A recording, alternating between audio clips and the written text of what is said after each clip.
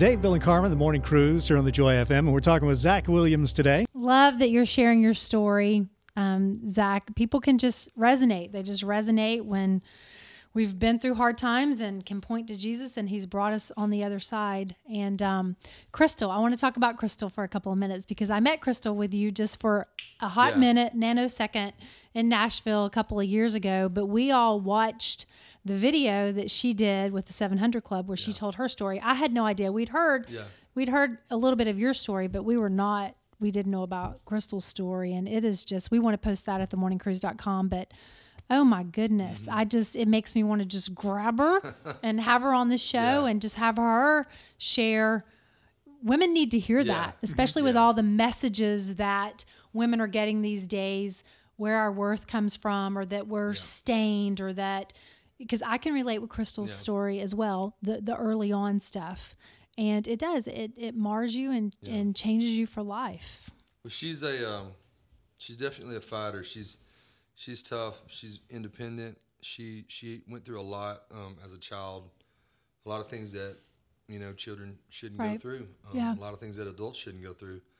And she fought to get where she's at. Um, you know, and when we met, we were both running. Um, she had this pretty horrible past in childhood, and I and, and I had a um, almost picturesque childhood, but for some reason God brought us together, uh, and I feel like you know I feel like in doing so she's she's kind of saved my life, and maybe I've kind of helped save hers, but she um she she went through a, a pretty traumatic fire accident when she was about 14 years old, and she almost lost both of her legs, and um, when the when the helicopter that that flew her to Memphis um, when they landed the day that they landed, there were there were three of the, the world's top plastic surgeon on, on call that day, and that's not just a by chance thing, you know, that's a God thing. So Yeah. they they they were able to save her legs, and um, she spent almost a year just in burn recovery, and she just has a pretty wild Yeah. testimony, you know. She Yeah. um, just from what she's gone through, but when I wrote the song Survivor, that was kind of where I was coming from with that song. When I when I think of the lyrics, the "You pulled me out of the fire, I'm a survivor," I was literally picturing God just pulling her out of this, you know, this house fire that she was in.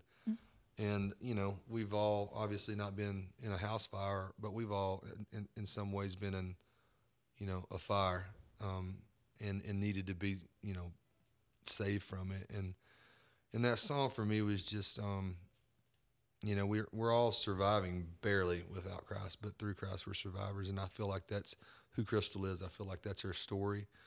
Um, she can obviously tell it a lot better than I can, but I think she has definitely got something to say. Um, she's been very, she's been very good at playing the supporting role right now. I, I can remember, I kind of nudge her all the time of like, hey, you need to get out and share this. Like we could go on the road and, and, and do some Um, She can start here. Yeah. we can set up another microphone. Yes, know, I, last- got, there. I got my calendar right you- here. Yeah. January what? Fly Last her time down. you told Zach that, it was two years. I know. Okay. I know. We, Well, we are can't we're gonna, yeah, we're gonna that change it. We're gonna change it with But Crystal. she's really, she really feels like God has just told her right now her role is to to support me Yeah. and to be there. And um, she's good at. She's probably better at listening to the Lord than I am. I try to.